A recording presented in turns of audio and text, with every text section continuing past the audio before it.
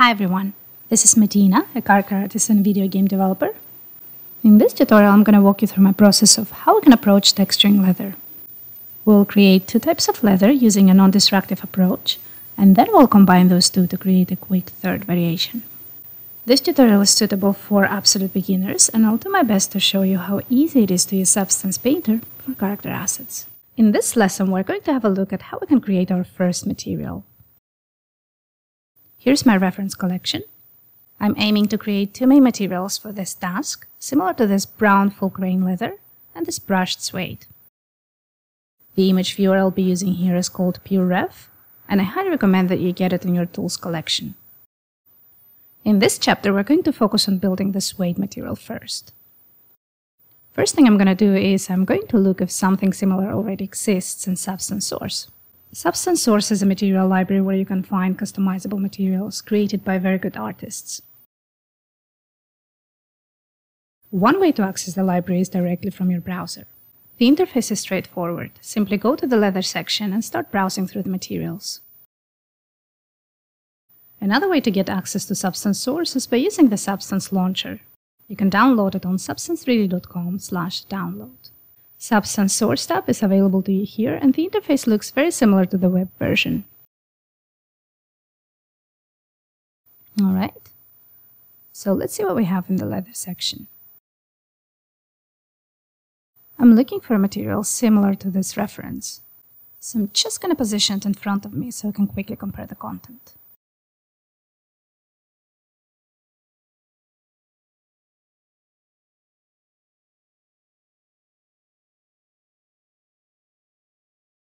This could work, but it has some pattern going on.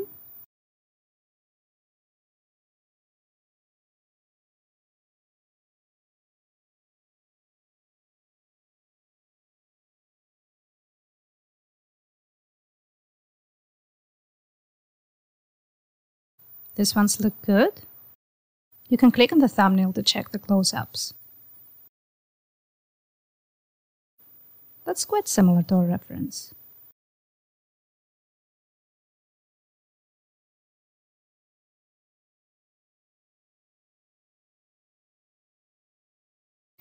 Yes, I think that would be a great base for our material. I'm going to go ahead and download it. Click on the SBSAR here and wait for the material to download. You can see the loading bar up here. Once it's downloaded, you will get a notification and you can click on the Open folder to locate your material. All right, let's go to our Substance Painter project. I'm gonna go to my shelf and drag and drop the material I just downloaded directly from my File Explorer. In the pop-up window, set it as a base material, and I'm to set this resource to be imported on my shelf. There we go, our downloaded material is now added to our shelf, and we can now use it as a starting point for our suede. Drag and drop this material to your layers. Delete this empty layer, and let's have a look at the parameters available to us with this material. Okay, so first thing I'm going to do is I'm going to adjust the tiling of the material. Change the scale parameter here and try to match the tiling according to your reference.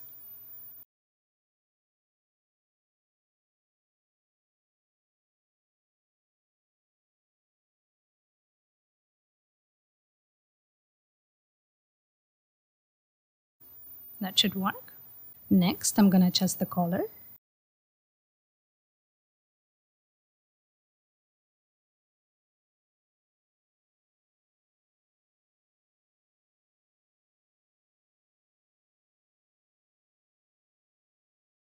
We can start selecting the color from here, or we can pick up color from our reference image directly.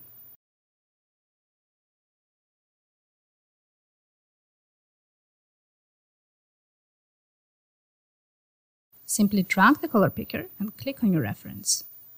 Now when you sample color from a real-life photo, bear in mind that the image has a lot of lighting information, not to mention that the photo might be graded, overexposed, and so on. Therefore, the sampled color is going to be just an approximation of your diffuse value. It's a great starting point, but it often needs to be tweaked. Once I'm happy with the color I picked, I'm going to check how it looks with the different lighting. Under the display settings here, you can change the lighting by changing the environment map.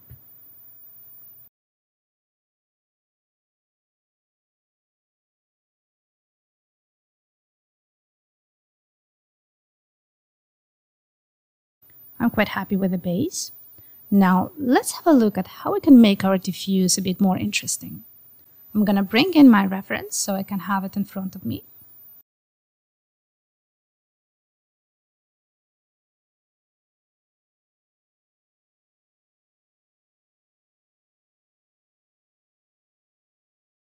So what we have at the moment is something very flat.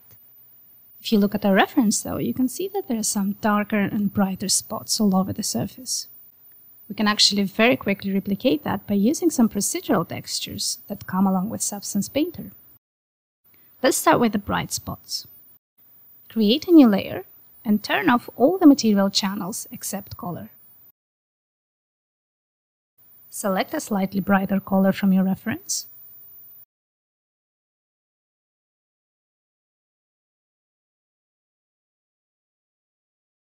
Now the goal is to add to this layer a cloud-like mask that will have a similar pattern to these bright spots. Bring in your shelf and navigate to the Procedural tab. I'm going to make my thumbnails larger so that it's easier to see. There are quite a few cloud and noise textures available to us. Look for one that is closer to your reference. I'm going to go and try Clouds too. Right-click on your bright layer and choose Add Bitmap Mask. In the pop-up window, type Clouds and find your texture. If you don't see much of a difference, chances are your mask textures need some adjustments. If you hold out and click on the mask, you'll be able to see how the mask looks like.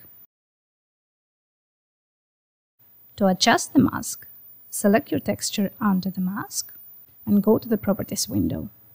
Now, in my case, I need to tile my mask more. Let's see what that gives us. Exit the mask view by clicking on the layer. The spots are more obvious now, but they're way too large. I'm going to invert my mask and play with the balance slider here till I get something closer to my reference.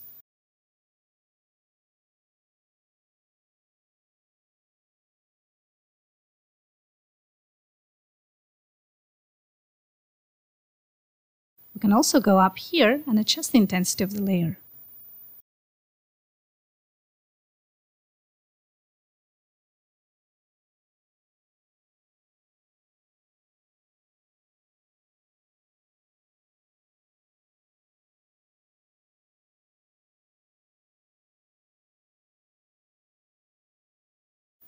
That's not too bad.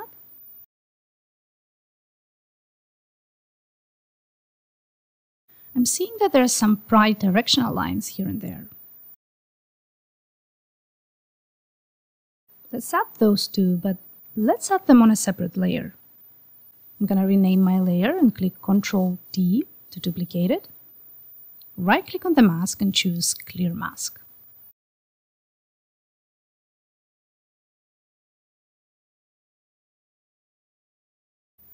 As you can see, the mask is now black. Bring in your shelf and find a texture that could replicate the effect we want. Again, I'm trying to find something that has some directional lines.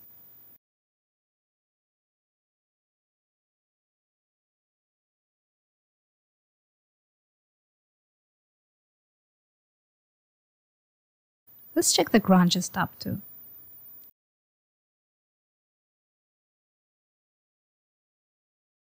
The grunge dirt splats could work. Let's see how would that look. Same steps as before.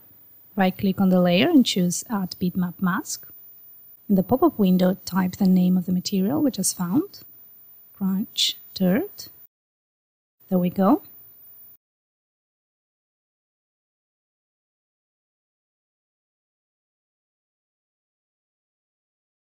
Alt click on the mask to preview the mask by itself and tweak the mask till you're happy with the results.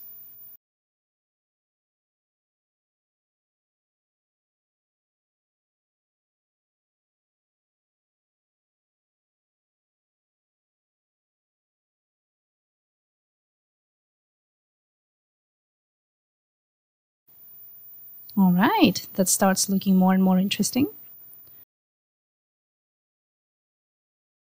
Let's go ahead and add some large darker spots that we can see in our reference. The process is exactly the same. Create a new fill layer.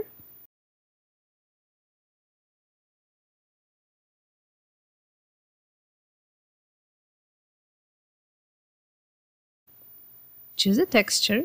I'll go for this Grunge Map 007. Right click, add a bitmap mask, and type the name of your texture.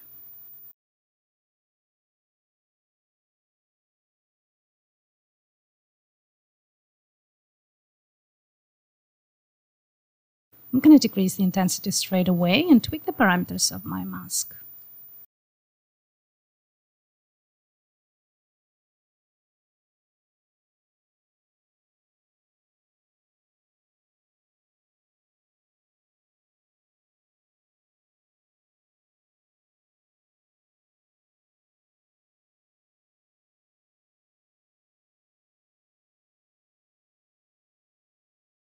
Here you can see that I'm playing with the tiling, offset and the intensity of the layer.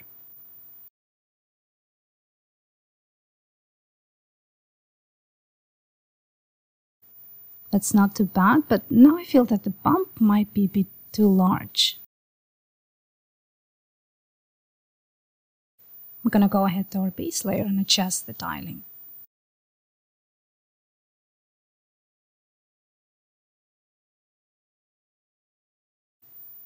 That's much better.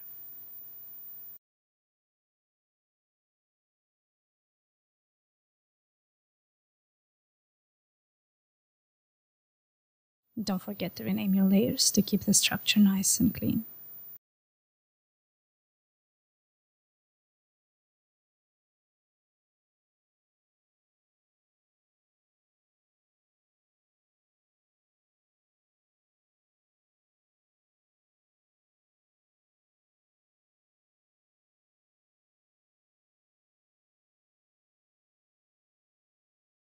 Now, next thing I want to do is I want to emphasize the tips of the fibers. Notice how the very top area of the fibers are slightly brighter. The thing is, I'm quite happy with our base texture and I wouldn't want to mess it up. It would be nice to be able to control the tips separately. We can do that by setting up a separate layer that will have a mask that will only pick up the very top areas of the fibers. Let's see how we can do that. I'm going to create a fill layer and add a smart mask that picks up the edges.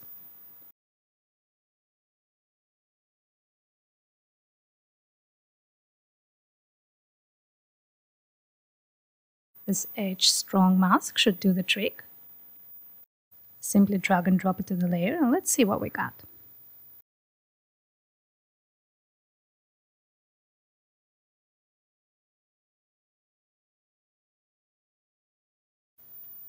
As you can see, the mask did a good job picking up the sharp edges of our jacket, but it didn't take into account our little fibers.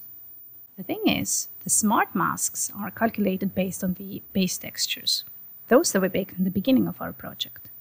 The smart masks are agnostic to all of the additional bump that we authored in our layers while trying to express the surface. What we need to do is we need to tell the mask to consider this additional height and normal information when generating the edge map. We can do that by using the anchor points. Go to the layer that holds the small bump information. In my case, it's the bottom layer.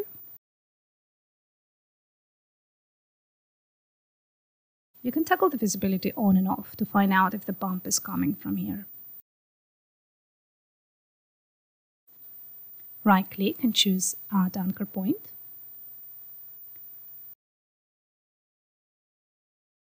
Now select the mask and go to the mask editor. Find the Micro Detail tab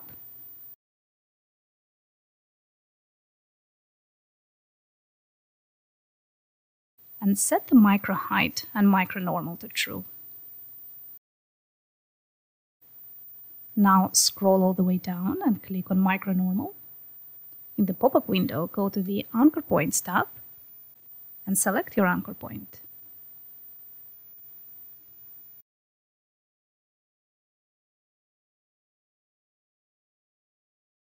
There we go. Now the mask is picking up the fibers and we can go ahead and control them separately.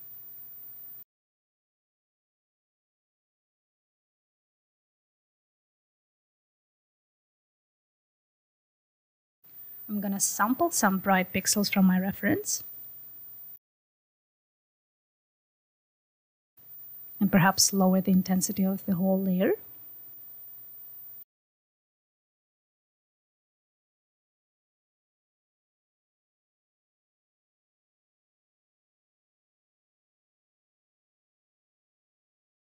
I think the fibers look a bit too large at the moment.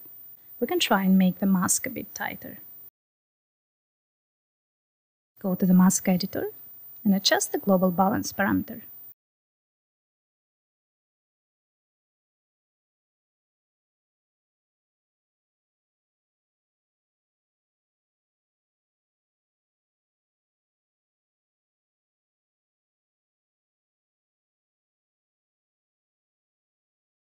That's a bit better. Play with the color and the layer intensity till you're happy with the results.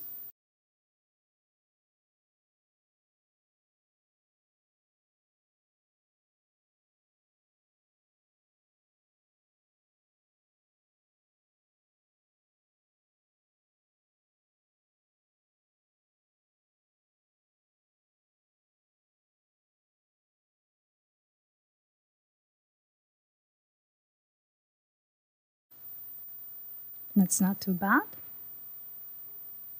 Let's rename our layer to something like fiber highlights. And this is it. Our suede material is now ready. At this point, you can continue fine-tuning the layers till you're happy.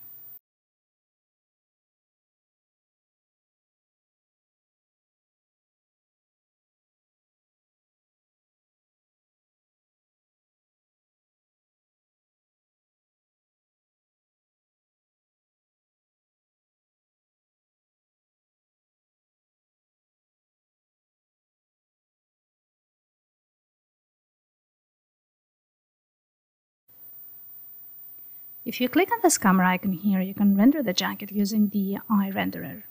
That will allow you to check the results with a better lighting accuracy.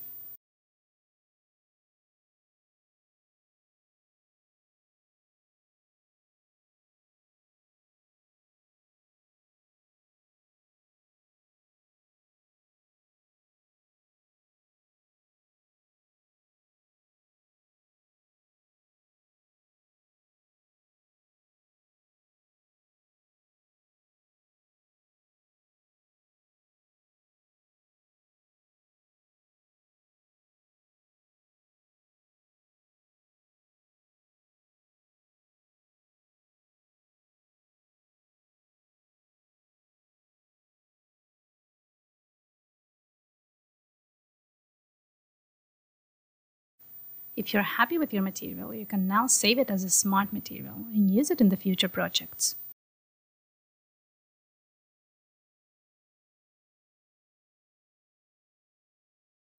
Create a group, select the top layer, shift select the bottom, and drag the selection to the group.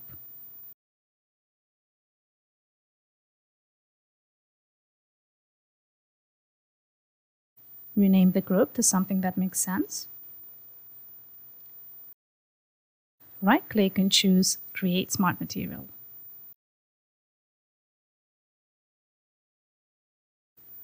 There we go. Our material has been saved in our shelf. We can use it in the future projects. I'm going to save my file now and in our next lesson we're going to have a look at how we can create our next material.